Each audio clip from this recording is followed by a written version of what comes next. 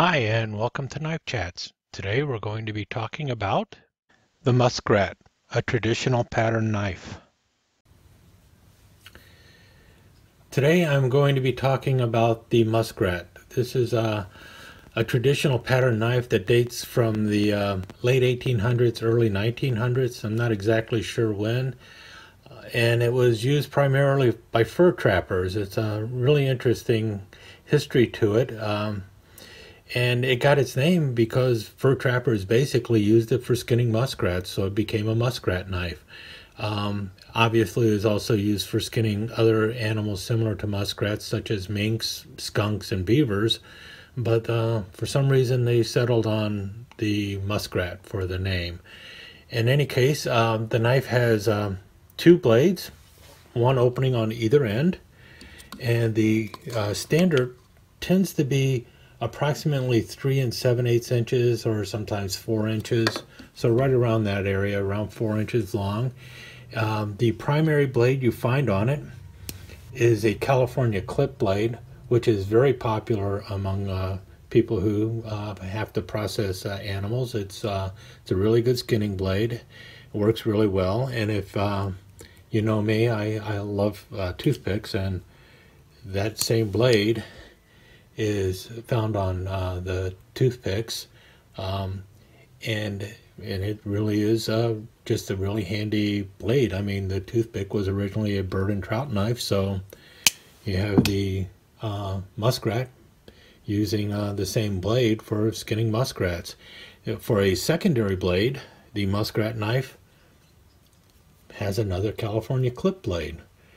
And the reason for that is when the, the trappers would go out, they would be uh, they would collect all their animals, uh, you know, clean all their traps out, and uh, uh, bring the animals back. And at the end of the day, they would have to take the fur off of all of them. I mean, that's why they were fur trapping.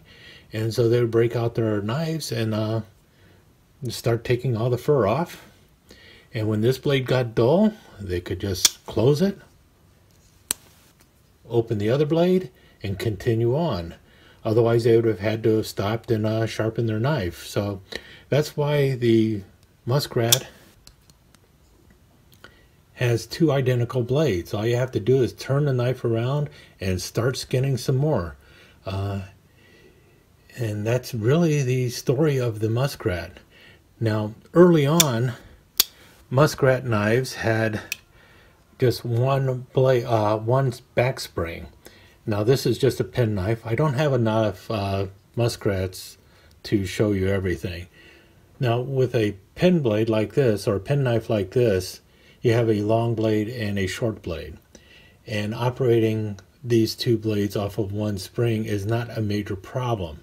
However, if you had two long blades, you would have a lot more stress put on the back spring, which was the case with the muskrat knife. You had two very long blades operating off of one spring and uh, doing a lot of work every night. So these back springs would wear out, the blades would get loose, the spring would break, and it was a problem.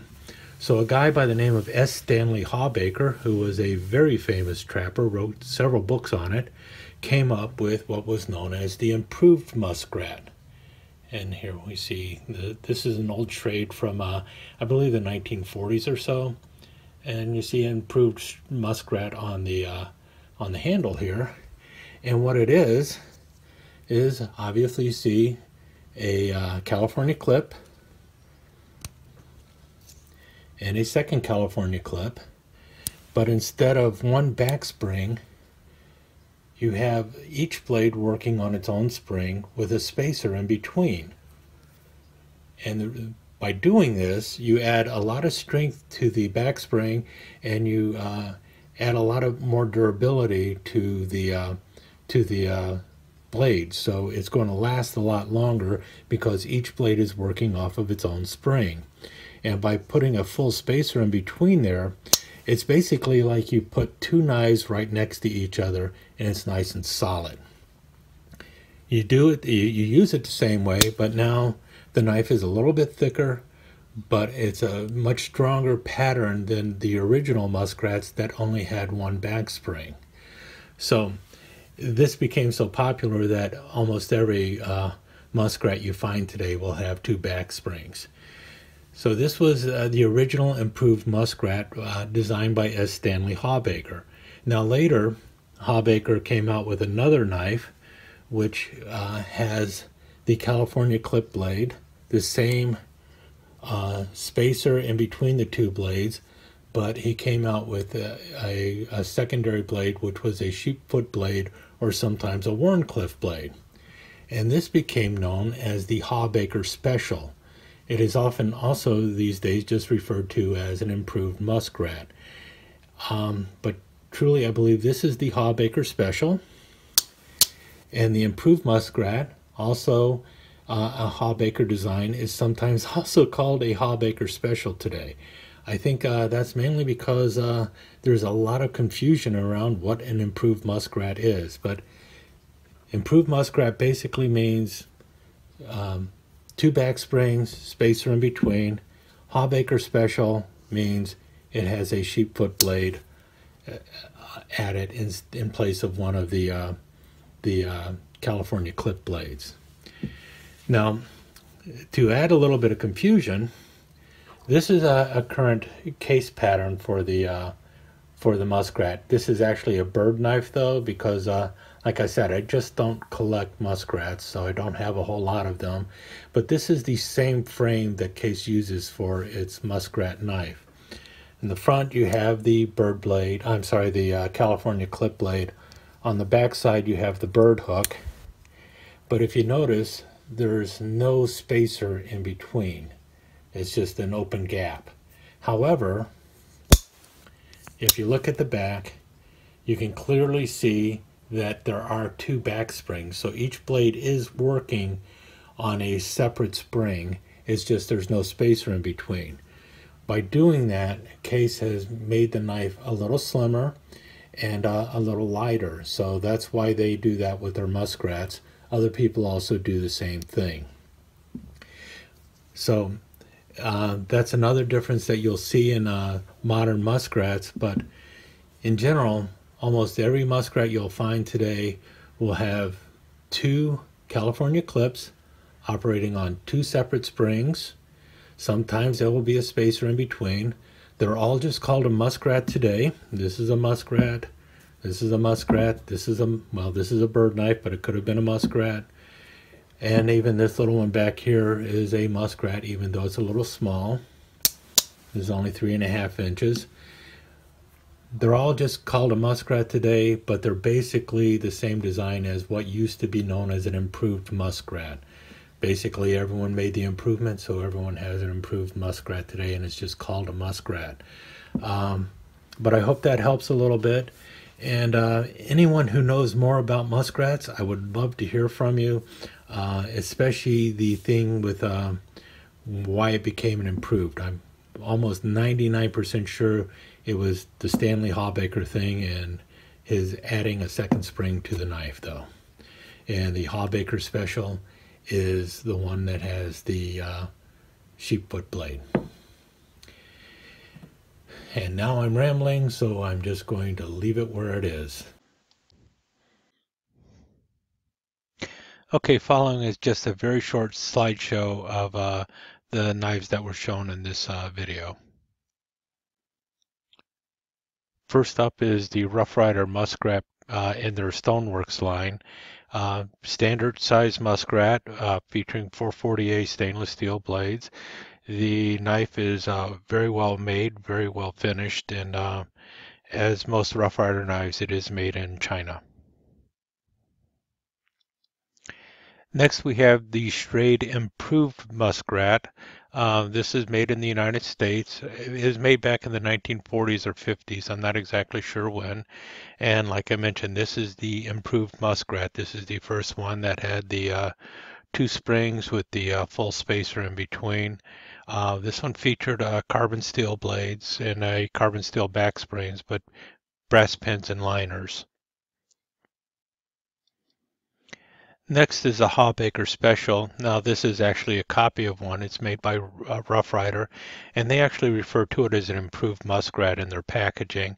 But as you can tell from the sheepfoot blade and the uh, And the uh, muskrat blade, this is what uh, Hawbaker designed as his Hawbaker Special.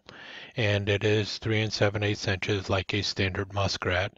And uh, again, it's a Rough Rider knife, so it is made in China, but it is very well finished uh, and a very solid knife. Next up, we have the Case Bird knife. Now, this is built on their uh, muskrat frame, and uh, Case actually uses this frame for a variety of knives, including a Stockman. But you see here the uh, the muskrat blade and the bird hook. And uh, as I mentioned in the video, there is no spacer in between this, even though each blade is working on its own spring. Um, as this is a Case knife, it uses the Tru-Sharp steel uh, and it is an extremely well made knife and it is made in the United States.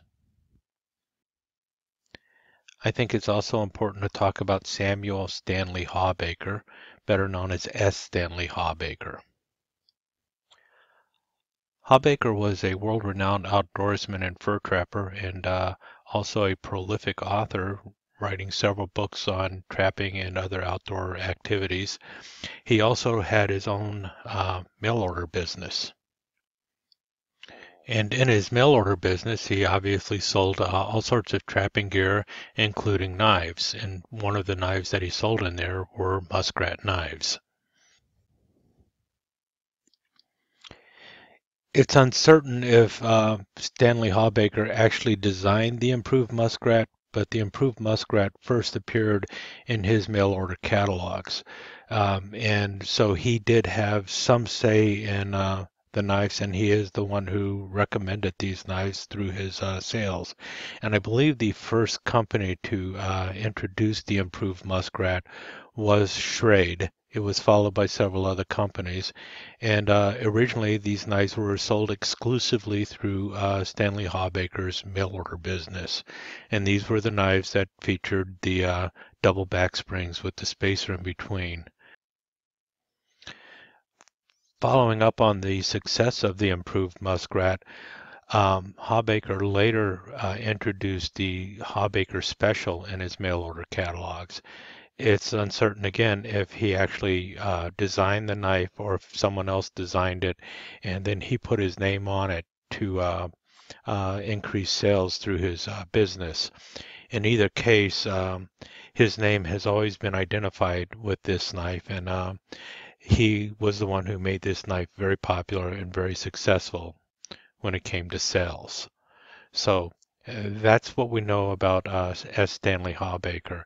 He was not only a great fur trapper, but he was also great at promoting um, knives. And so you can thank him for the Hawbaker Special and the improved Muskrat simply because they were sold almost exclusively through his uh, mail order catalog when they first came out. And that's why the knives were so popular. So I hope that clarifies a few things about S. Stanley Hawbaker and his role in the uh, muskrat knife. Uh, whether or not he actually designed the improved muskrat and the Hawbaker special almost becomes a moot point. It was because of Hawbaker that the knives became the success they were, and it is also because of Hawbaker that the improved muskrat became the standard muskrat. Thanks for watching.